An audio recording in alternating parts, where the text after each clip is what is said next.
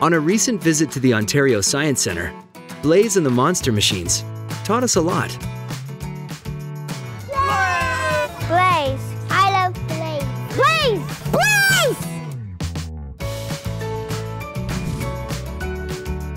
We learned about trajectory and how to make things move faster and further.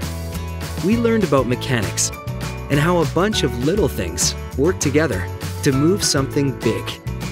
And we learned about power with a little test of our own strength.